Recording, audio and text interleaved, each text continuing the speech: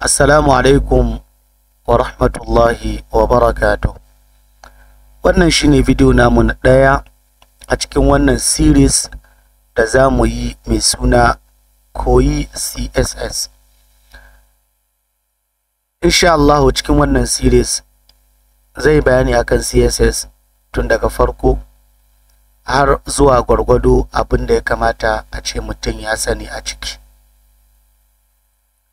Idan ba za ku manta ba series nawa na ƙarshe da na yi na yi shi akan html koyi html inda na yi bidiyo um, guda hamsin da ɗaya akan html duk wanda yake so ya bi wannan uh, uh, series da za mu yanzu idan ya san baya da background na html so ina ba shawara ya kallo wancan um, series da muka yi koyi html daga farko zuwa ƙarshe.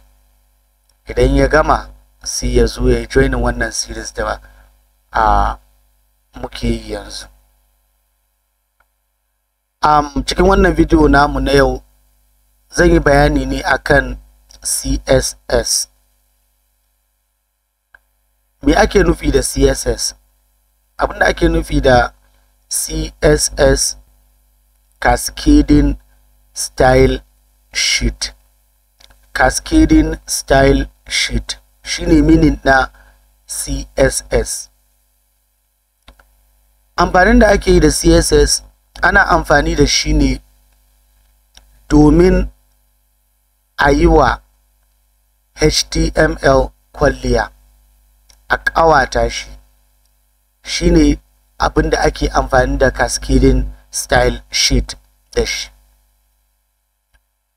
Mun yi html ba za ku manta ba.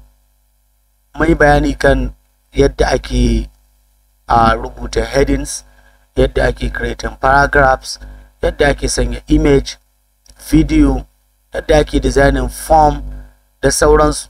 Duka mun yi a html ya ake ƙawata waɗannan duka abubuwan da muka yi? Maybe kana so ka canza ma rubutu color kana so ka canza background na rubutu kana so ka canza background na page naka kana so ka yi canza alignment na rubutu ko na uh, video ko na image kana so ka canza alignment na form da sauransu. Ya ake yin wannan?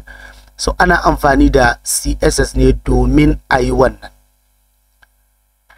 Um, wannan uh, uh, ilimin da muke bayani a kai html on the css duka kamar na faɗa lokacin da muke series na html suna da alaƙa da duk wani yake so wanda yake so ya ɗauki kariya ta software development. Kana so ka iya website development ne ko app development ne duka kana buƙatar ka fara iya html sannan ka je zuwa css na uku shine javascript. So wannan shine na biyu. Mun gama da na ɗaya yanzu muna cikin na biyu ne. Html kamar da za ku ko kaga mun yi video na shi mun gina website da shi. Kamar kana da hili ne sai ka yi gini har ka kai linta duka ka kai linta let's say har rufi ka yi ka yi rufi ka sa kwano ka yi rafta ka yi komi. Duk kana yin wannan ne da html ka aza bulo bulo da komi. Amma gida bai shigowa. Dole sai an yi maimi sai mai filista sannan a mai henti da sauransu. So shine abin da css yake yi ma website. Yanzu mun gama designing website mun yi designing website creating a website. Mun sa kila p tag head tag uh, uh, hr br image video form tab all those tags da muka yi creating duka mun yi mun gama. Ya za mu yi styling na waɗannan tags so shine abin da css yake yi. Kuma shine abin da za mu yi cikin wannan video insha Allah. So get ready uh, brush up your HTML knowledge da muka yi ka riƙe shi da kyau. Saboda yanzu za mu ƙawata abin da muka yi daga HTML a nan cikin wannan video.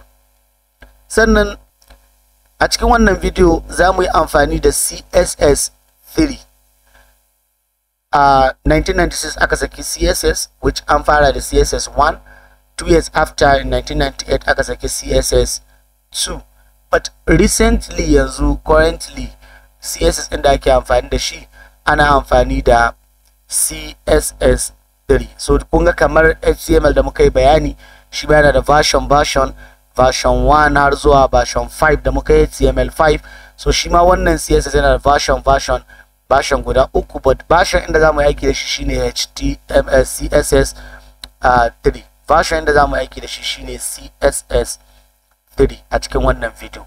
Da haka sai ku shirya ku gyara zama. Insha Allah shine abin da za mu yi bayani akai da fatan Allah ka samu dace kuma nan za mu tsaya cikin wannan video. Wassalamu alaikum wa rahmatullahi wa barakatuh.